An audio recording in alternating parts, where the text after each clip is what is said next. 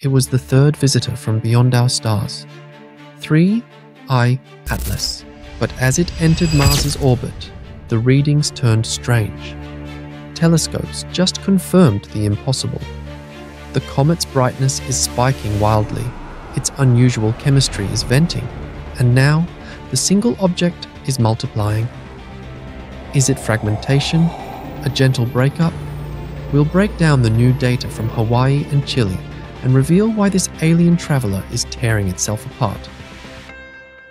In this video, we'll break down the newest findings about 3I Atlas, the interstellar object now entering Mars' orbital neighborhood. You'll see what telescopes in Hawaii and Chile just spotted, why astronomers think these objects are multiplying, and what the leading hypotheses are, from fragmentation to gravitational capture.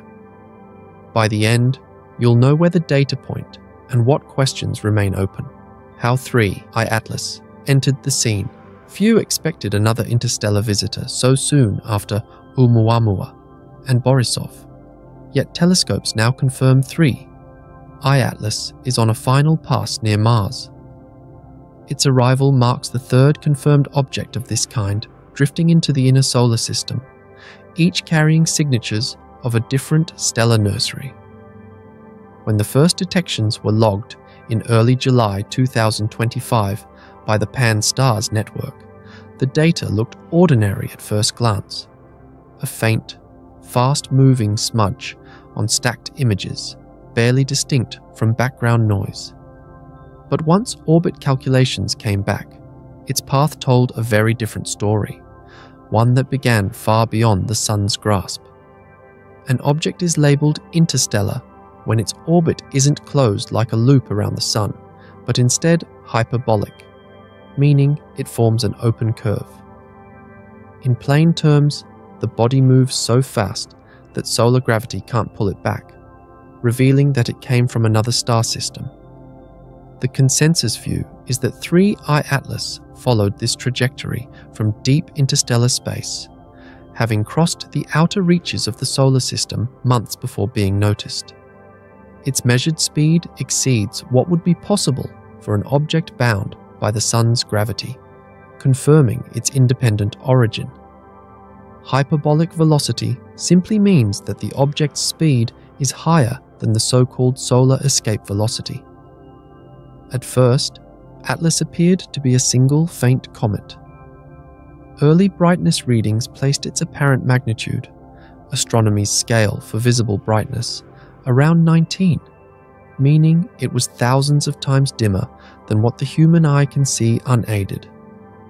The faintness, combined with a high angular velocity across the sky, gave tracking teams a challenge. Its position shifted quickly between exposures, creating streaked trails on detector frames. Every observatory involved needed to adjust exposure times and coordinate timing down to the second to lock onto it reliably. The Atlas survey team quickly noticed something else. The brightness did not stay constant. It varied more than expected from rotation alone, hinting at a possibly tumbling nucleus. Later measurements estimated a slow spin period over 20 hours with an irregular wobble known as non principal axis rotation. That kind of motion often results from past collisions or uneven internal structure. The motion also complicates forecasts for dust and gas release, since sunlight strikes the surface in constantly changing angles.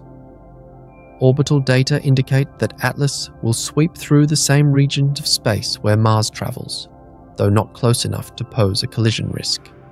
Even so, the intersection draws special interest. From Mars's vantage point, both orbiters and ground based assets can get unique angles for spectroscopic observation.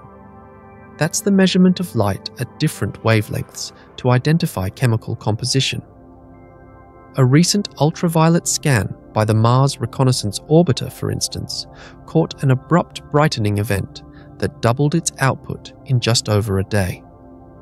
That behavior suggests volatile materials, possibly carbon dioxide or other frozen gases, venting from fresh surface fractures as solar heat reaches new layers. Comparing Atlas with earlier interstellar visitors helps refine expectations. Oumuamua showed a dense rock like texture and lacked obvious gas emissions. Borisov looked and acted like a standard comet, rich in water ice. Atlas deviates from both. Spectral readings show an unusually high ratio of carbon dioxide to water vapor, about 20 times greater than typical cometary values, and detectable nickel without corresponding iron. The mainstream interpretation is that it formed in a colder region of its home system, where carbon based ices condensed more readily. An alternative hypothesis suggests it lost lighter materials over billions of years in interstellar transit, leaving behind a chemically unusual mix. To verify its interstellar status beyond orbital mechanics, astronomers used parallax, which measures how its position appears to shift from different points on Earth.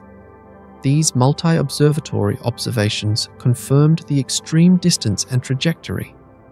Each dataset reinforced the view that Atlas is an authentic visitor from outside the Sun's gravitational neighborhood. Its close approach to Mars opens a brief but valuable window, from ground telescopes in Chile and Hawaii to instruments orbiting Mars dozens of teams are now preparing coordinated observations to analyze both the motion and composition of its tail before it turns sunward. Yet, just as plans solidified, new high resolution images hinted at something unexpected emerging along Atlas Path. More than one object moving in concert, as if pieces were drifting free from the original nucleus. The mystery of multiplying objects observers noticed something startling. The light curve of 3I Atlas, meaning the graph that tracks its brightness over time, began showing sharp, irregular spikes. Soon afterward, telescopes captured faint yet distinct points appearing beside the main body. What started as a single moving speck became a small cluster, drifting together through space. The ultraviolet data from the Mars Reconnaissance Orbiter showed a rapid brightening that nearly doubled in just over a day, followed by a separation in the comet's tail. Dust streams began moving in slightly different directions, giving visual evidence that the object's structure was changing in real time. In astronomy, a light curve can reveal far more than mere brightness. When a comet's light fluctuates unexpectedly, it often signals fragmentation in plain terms, that means chunks of the original nucleus are breaking apart, or clouds of debris are trailing behind. The sudden surges seen in Atlas light curve don't align with the patterns of water driven gas jets.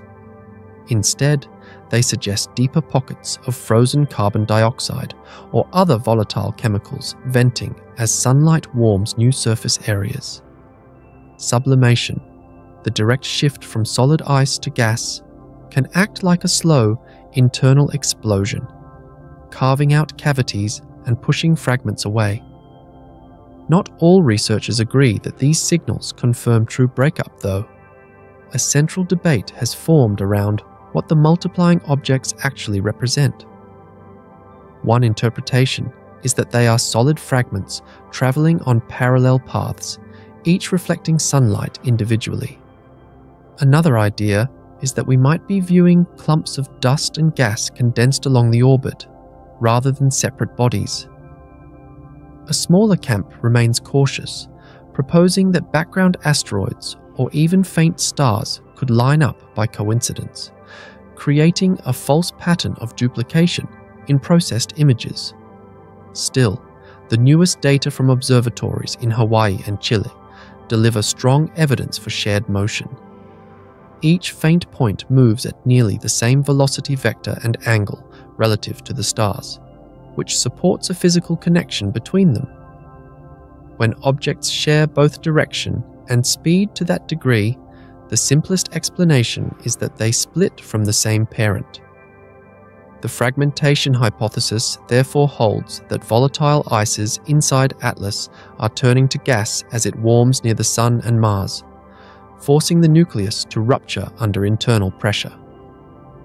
A competing hypothesis involves gravitational interaction. Some scientists have suggested that tidal forces from either Mars or the Sun may have tugged smaller material clusters into slightly offset orbits. Such stretching could draw debris apart without total disintegration, producing a formation of co moving particles. Yet these gravitational effects are subtle at Atlas distance, so the evidence currently supports direct breakup due to internal stress rather than external pulling.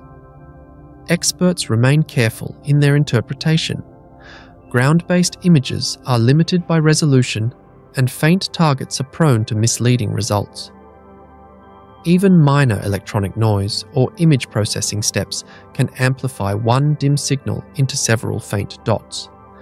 There is also the possibility that what seems like new fragments might actually be detached plumes of dust that's why multiple observatories continue re imaging the same region nightly, cross validating each other's data to ensure consistency. There are historical precedents for such events. When Comet Shoemaker Levy 9 fragmented before colliding with Jupiter, observers documented at least 20 distinct pieces strung along its orbit. Clear proof that large bodies can split under stress.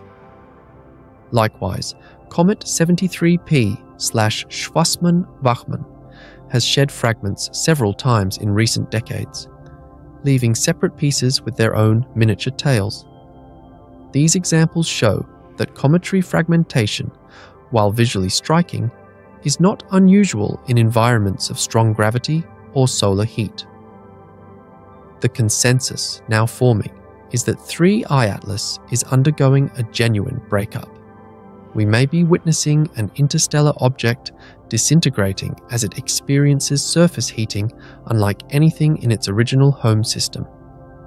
The process exposes new material for study while shortening the time available for observation. Mars based orbiters are now adjusting planned scans to capture spectra of the fragments before they swing behind the Sun, hoping to determine whether each piece carries the same chemical fingerprint as the original nucleus. Conclusion 3I Atlas, officially catalogued as C 2025 N1, is proving that interstellar objects can be far more delicate than early models predicted. Its unstable motion, rapid outbursts, and unusual carbon dioxide dominance reveal how fragile these visitors are when exposed to solar heat. NASA's Planetary Defense Office and ESA's telescope networks will continue monitoring its fading trail as it departs after perihelion on October 29th. Instruments like JWST and the Rubin Observatory are already refining its chemical data. Each interstellar traveler, no matter how briefly observed, adds new evidence of how matter circulates between star systems reshaping our story of cosmic exchange.